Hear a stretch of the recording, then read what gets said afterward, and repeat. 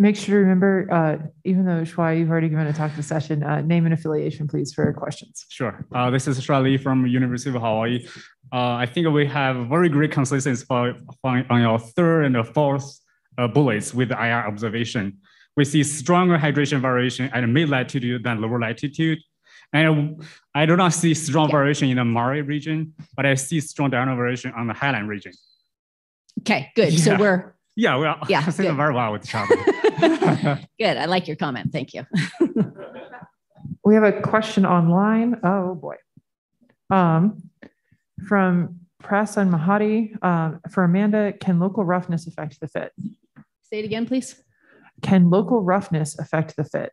Okay, good question.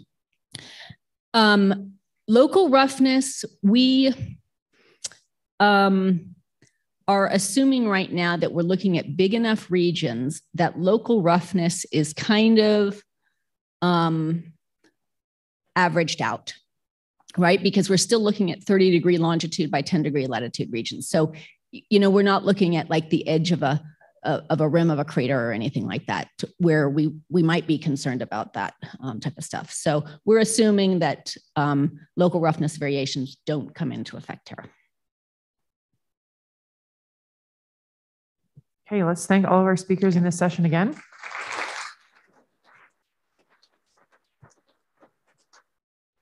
And so the session is now open for discussion. Um, one, as chair's prerogative, one thing I wanted to go back to was um, Paul Lucey described that there might be future plans for SOFIA before decommissioning to obtain more lunar data, and it would be great if Paul could take about 30 seconds to summarize those.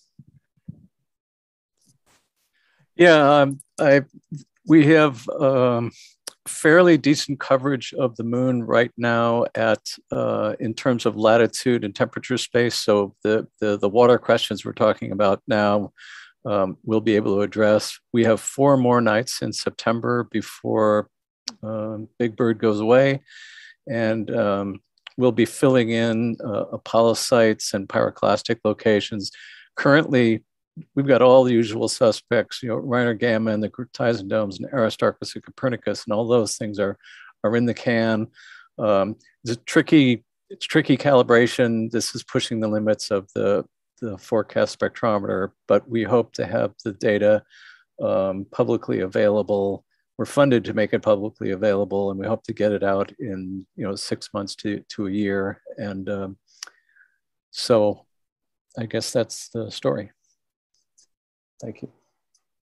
Thanks so much, Paul. Um, I do like hearing pushing the limits of the instrument towards the very end. That's very exciting to hear. Um, so we've got to go back for the Jones et al. talk. Um, this is from W. Farrell online. Um, so if Brant could approach a microphone, and it's kind of a long one, so if you need me to repeat it, let me know. In many of these OH models, there is a water branch and a competing and possibly more vigorous H2 branch. Does your model consider the formation of the implanted protons to the second escaping H2 branch? Could that be a possible reason why the water exosphere in your model might be overestimated compared to the low levels detected by LADEE? Uh, I think that's a lot of implanted H is going to the H2 exosphere. So again, could you also comment maybe on uh, your response to Paul saying that maybe the LADEE was an underestimate? And, and just do all the things basically. Sorry. Uh, okay, so yeah, um, I know I know Bill likes the hydrogen story. Um, the thing is that there's not a lot of experimental data to back that up. So if you go to Ralf Kaiser's experiment where they did, you know, this proton irradiation and then hit, heated it up with an IR laser, um, the dominant channel was water, and that's also in TPD measurements too. Um, and so there is some evidence that there's trapped hydrogen but the hydrogen has a really relatively low diffusion constant, so it should basically diffuse out. Um, but that doesn't necessarily mean that it's a, um, not a relevant channel, right? So in this particular model, no, I did not take it into consideration. And I really haven't taken it into consideration until I talked to Shuai about this, right? Because in order to kind of explain Shuai's results, there has to be trapped hydrogen in the regolith. Um, as far as the number density, the LADEE measurements, I don't know if that would really change. I mean, I guess it could change, you know, the overall amount if more is going towards hydrogen, But again, that doesn't really match what experimental data shows. Okay, thanks so much. And there doesn't look like there's a follow-up comment. Uh, there, the follow-up comment online is thanks exclamation point. So thank you for that explanation. Um, and that looks like that's everything in the chat currently. Yeah, Rosario.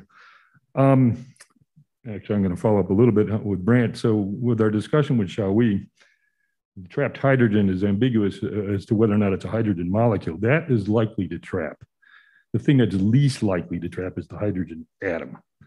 It finds itself, it'll find a hydrogen molecule that can stick around. There's hydrogen storage materials because that happens. Uh, the question actually is not on that. It's uh, it's to Amanda. It's more like a question of semantics.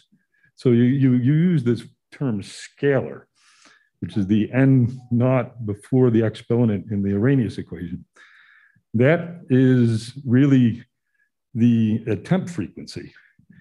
And the attempt frequency has some number, which is exactly what it is. It's the number of times the molecule tries to get away. So it's a frequency, and that's not temperature dependent. So that really should not change. What changes in the temperature dependence is in the exponential. So there's an interesting thing though that, you know, I think what you want to do is call it an effective activation energy. Because what that does is it takes into account that there's multiple attempts. It desorbs, it reabsorbs, it desorbs, it reabsorbs. And that has to happen if it's coming out of a granular sample. And nobody talks about that, but you know, this activation energy measurement is for just going to the vacuum, one shot. But in almost all of these samples, and particularly the ones on the moon, they're bouncing all over the place. So what it really is is a convolution of multiple desorption events. So I think you need to keep that, and it doesn't say the numbers are wrong, it's just, it, it the physics is it's many, many, many, many yeah, of these attempts. Yeah, no, that's a good point, Tom. And we've talked about this before. And I think in our paper, we even said that it's an effective activation energy that we um, think that we're measuring here. Um, and, and, and so, you know, it's just something to keep in mind. Um, and about the scalar, that's another good point too, that we're still kind of working on here what that means for us um, because we do get different values that we need.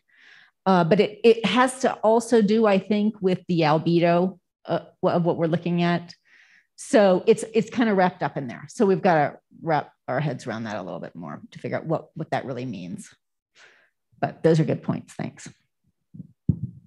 Okay, thanks so much. Oh, Carly's got a question. Don't forget to introduce yourself, even though I, I literally said Carly's got a question. And then I think this might be the last question of the discussion because we do want to keep about the time because uh, there is a lunar volatiles focus group at lunch. And so if you want to go rush to get your lunch and then go talk more about this, then that would be super. But uh, we're going to let Carly close this out. Okay, here's something to think about over lunch. Um, and this is mostly for people who are doing the physics and the chemistry of these interactions. We're right now grouping OH and H2O together, but they have different chemistry, different physics. How does that affect all the things we've been touching on? I don't have an answer, but that might be a good lunch conversation.